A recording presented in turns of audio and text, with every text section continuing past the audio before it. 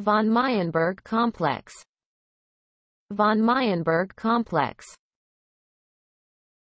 a benign liver malformation with biliary cystic lesions, congenital hepatic fibrosis, malformations of the intrahepatic bile ducts. They originate from embryonic bile ducts that fail to involute, resulting in ductal plate malformations.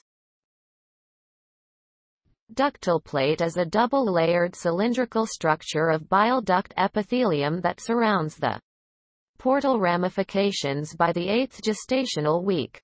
After approximately the 12th gestational week, remodeling of ductal plate begins, and maturity is attained by the end of gestation or early postnatal period. Biliary ducts are normally formed from remodeling and partial involution of these cylindrical ductal plates.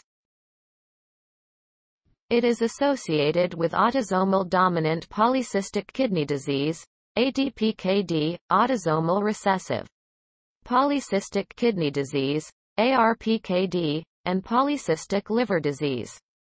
Malignant transformations into cholangiocarcinoma and hepatocellular carcinoma are suggested. These are generally asymptomatic. Basically, no treatment is required, but to consider the possible risk of malignant transformation.